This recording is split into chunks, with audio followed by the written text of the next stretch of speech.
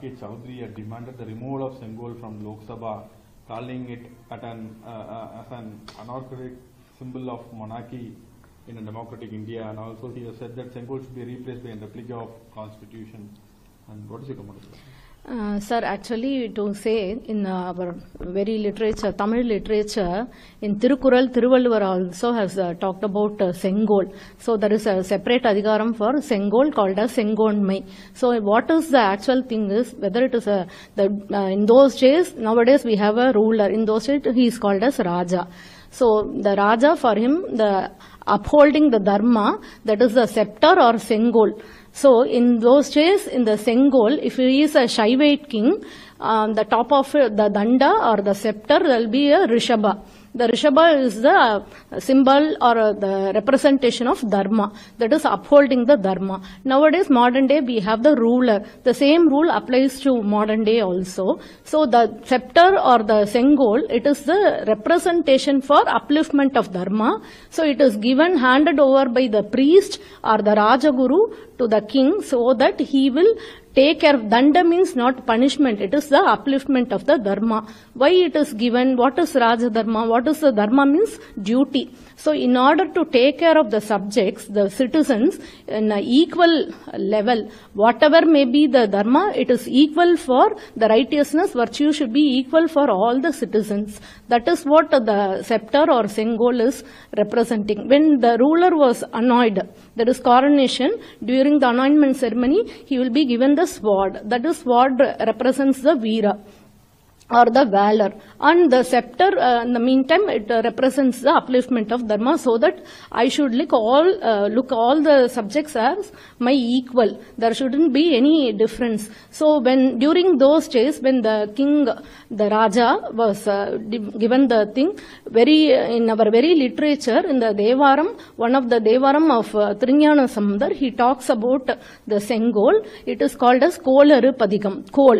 So when the Raja was given that uh, power, transfer of power to rule the kingdom, so in the Kolaripadigam says that hereafter we will rule, uh, the, take the uh, no, rule of uh, kings, that is Raja Shasanam, as uh, no, our uh, primer thing or a priority. That is what. So when my uh, teacher taught uh, know all these things, he is uh, Padma Bhushan Dr. R. Nagaswamy. So he has uh, written uh, quite a lot things about the Sengol and uh, the Sengol is nothing but scepter which represents the Dharma. So not only for Raja, even in our uh, travel accounts and all the uh, epigraphs we can found about this uh, Raja Nadna Sengol.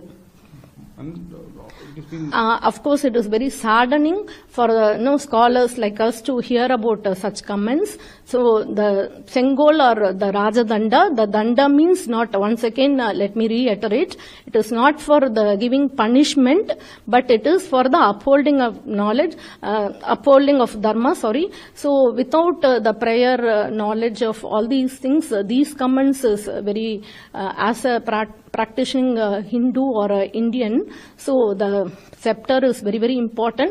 That is why in the Brit- after the you know, when we got uh, freedom, that is why the British government when we were about to leave, it was handed over to the Tiruvadurai Adinam. When they have uh, transferred the power to our prime minister, they have given that uh, danda. That is why we have kept in our parliament also. After uh, many many years, it was kept in museum, but it has been, taken into the parliament again.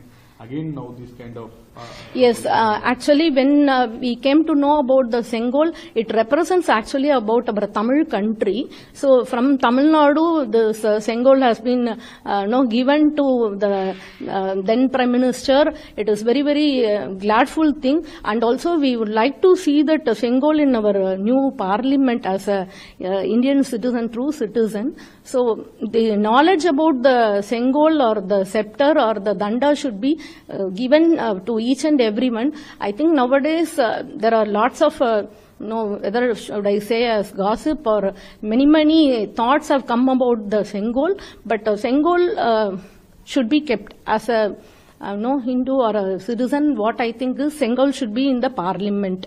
That represents actually our, the true power. And as a Tamilian, uh, what is Yes, Tamilian, what I say is, so whoever, uh, uh, if it is a, he is a Shaivite or a Vaishnavite, for a Vaishnavite, the Garuda will be on the top of the Sengol. For the Shaivite, uh, no, it will be the Rishabha Danda. Once again, Garuda and Rishabha, they are the upliftment of Dharma. So Sengol, I- as I mentioned earlier, the Thiruvalluvar or the Kolaripadigam or any, many, many literature in the Sangam, we, there are many quotes about the Sengol or the scepter. So, uh, I think that uh, it should be there.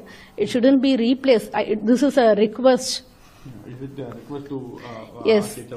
Yes, yes, yes. Uh, it is a request uh, as a uh, Hindu f- or a Indian Indian citizen. It should be there. It it is actually the pride for us to look into the scepter or the Sengol. Thank you.